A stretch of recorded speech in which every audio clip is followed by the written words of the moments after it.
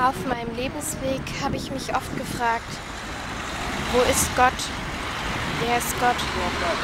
Und ist das Verständnis, was über Gott gelehrt ist, eigentlich das Richtige? Ist Gott im Himmel zu finden? Sitzt er irgendwie auf so einem Stuhl und wacht über uns und lenkt die Geschichte dieser Welt oder was tut er denn? Ist Gott ein Teil von dem, was ich hier sehe in meiner Umwelt? Oder, oder ist Gott etwa in der hektischen Großstadt zu finden? Wie kann er all diese Menschen, die hier leben, jeden einzelnen von ihnen lieben? Wie kann er... Ist der Glauben eher ein Gefängnis, aus dem wir nicht ausbrechen können? Wo ist dieser Gott? Das habe ich mich auch gefragt. Und in diesem Video möchte ich euch erklären, wie ich für mich selbst Glauben definiert habe im Laufe meines Lebens und im Laufe einfach ähm, meiner Menschwerdung hier auf der Erde. Und ähm, ich würde mich freuen, wenn ihr euch das Video bis zum Schluss anschaut. Und natürlich sind alle Dinge, die ich sage, auf meinen persönlichen ähm, Erfahrungen beruhend und sind keine allgemeingültig. Was ist Glauben für mich persönlich? Also ich habe mir lange darüber Gedanken gemacht, wie ich das in diesem Video ausdrücken soll. Und ähm, ich sage es einfach so, wie es aus meinem Herzen kommt. Für mich ist Glauben etwas, das nicht in einer Kirche zu finden ist. Für mich ist Glauben auch nicht etwas, das in einem Buch zu finden ist. Ich kann mich nicht als regelmäßigen Kirchgänger bezeichnen, weil mein Gottverständnis ein bisschen anders ist als das, was in der Kirche gepredigt wird. Und das möchte ich gerne jetzt dir in diesem Video einfach erklären. Wo ist also Gott für mich?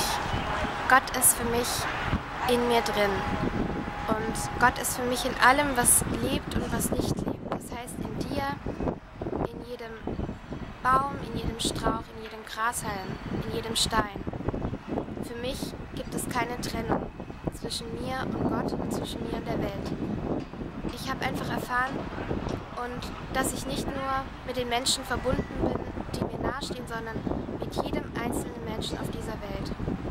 Und was dieses ähm, Glaubensbild von mir, wie ich Gott erfahren habe in meinem Leben, auch unterstützt, ist einfach mein Grundsatz, ich bin der Schaffer meiner eigenen Welt. Ich glaube daran, dass jeder von uns ein göttliches Wesen ist. Das bedeutet für mich, dass jeder die Verantwortung trägt, wie sein Leben verläuft. Und dass jeder Mensch von uns mit seinen Gedanken, die er denkt, seine eigene Welt erschaffen kann. Und ähm, ich sehe kein Geschöpf als höher oder niedriger an. Ich glaube, dass wir alle auf derselben Ebene sind und dass jedes Lebewesen und jeder Mensch die gleiche Behandlung verdient hat und dass, dass es zuallererst wichtig ist, ähm, das, was Jesus auch gesagt hat, ähm, zu leben. Liebe deinen Nächsten wie dich selbst. Und das wird sehr oft vergessen, äh, auch in den Predigten in der Kirche. Liebe deinen Nächsten heißt es, aber es wird nie gesagt, liebe dich zuerst selbst, ja. Schau erst, dass du mit dir selbst im Reinen bist, dass du in die Selbstliebe gehst, dass du das Leben lebst, das du wirklich verdient hast. Und wie oft wir uns selbst nicht lieben, das wird uns erst bewusst, wenn wir uns unsere Gedanken über unsere Welt und über unser Selbst bewusst werden. Und ähm, sehr oft verstricken wir uns in negative Gedanken und tadeln uns so oft selbst und gehen in, diese, in diesen Selbsthass rein, dass die guten Gedanken, die guten Dinge in unserem Leben verschwinden. Und ähm, für mich ist der Gedanke, also das Gebet, der Anfang von dem Erschaffen aber das würde jetzt zu weit führen. Ähm, prinzipiell ist es einfach so, dass ich ähm, einfach Gott in allem sehe, was ist und auch die Erfahrung gemacht habe, wenn ich mich nicht getrennt sehe von anderen, dass ich ähm, ein ganz anderes Gespür für die Menschen bekomme und ähm, auch ein anderes Verständnis für ihre Lage und für ihre Situation. Und ähm, als ich begonnen habe, mich selbst zu lieben, habe ich auch begonnen, Gott in, in allem mehr wahrzunehmen, was in meiner Welt um mich herum ist einfach. Und ähm, ich bin dann auch in diese Dankbarkeit reingekommen, weil ich auch gesehen habe, wie er wirkt.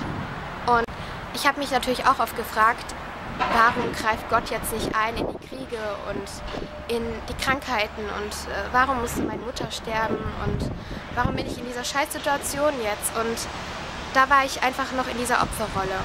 Und wahrer Glauben bedeutet für mich zu erkennen, dass ich ein Schöpfer bin und dass Gott in mir ist und dass ich ganz aktiv mich für die Opferrolle entschieden habe.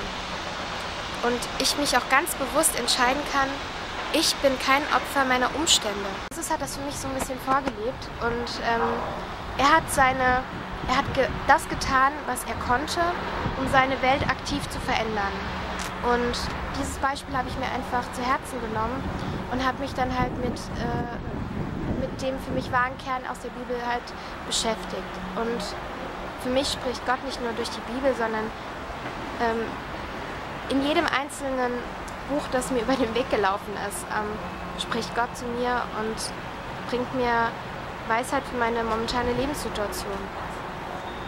Und ähm, ich bin einfach der Meinung, dass, dass die beste Kirche der Umgang mit anderen Menschen, mit Tieren und mit, ähm, mit Wesenheiten ist, mit der Natur ist. Ich kann mir gut vorstellen, dass es ein bisschen schwierig ist zu verstehen, aber so geht es mir ich fühle mich in der Natur einfach wohler als in jeder Kirche und ich lerne im Umgang mit Menschen viel mehr über Gott und in Gesprächen, auch mit Menschen, die jetzt nicht meinen Glauben teilen, als in jeder Kirche, wenn jemand der Kanzel sitzt und mir irgendwas erzählt. Ich glaube auf jeden Fall an Jesus Christus, weil er ein Riesenvorbild von mir ist, weil ich auch einfach gesehen habe, was sein Wesen mit ähm, mit ganz vielen Menschen gemacht hat, die an ihn glauben. Meine Wahrheit ist nicht der Anspruch auf eine Wahrheit oder auf die an Wahrheit der Welt. Es ist so, wie ich die Welt verstehe und ich hoffe, ich habe es ein bisschen gut rübergebracht, wie ich es meine. Es wird auf jeden Fall weitere ähm, Videos zum Thema Glauben geben und ich wünsche euch einen wunderschönen Tag. Gott ist für mich in allem, was lebt und nicht lebt in jedem Geschöpf, das mir begegnet. Ich bin, ein, ich bin ein aktiver Gestalter meiner Welt. Ich entscheide, ob mein Leben bunt ist oder grau. Da ich ein Erschaffer bin, entscheide ich mich auch selbst für die Farben des Lebens, die ich sehen will. Ich vermute, dass sich mein Verständnis von Gott immer im Laufe meines Lebens verändern wird. Aber ich lade dich ein, einfach Selbsterfahrungen zu machen. Und einfach selbst dir Gedanken darüber zu machen, ob du ja, Erfahrungen mit Jesus hast und mit dem Glauben oder ob du überhaupt gar nichts damit anfangen kannst. Ich wünsche euch einen wunderschönen Tag. Bye bye.